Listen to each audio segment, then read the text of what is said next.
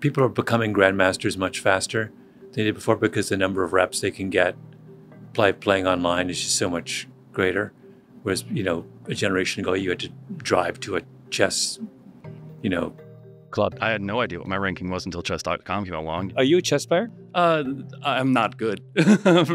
Ranked like 770 or something like that on, on chess.com, but I'd play around. I used to play with my grandfather a whole lot. So. Does that analogy make sense to you? Very much so. You're trying to train the teacher the way online chess is training chess players. And it doesn't replace the chess tournament, it just makes you better prepared more quickly. It gives you a form that is easily accessible for you to practice and hone those skills, much in the same way that chess.com gives you a chance to hone playing without necessarily having someone there at the table with you. Yeah.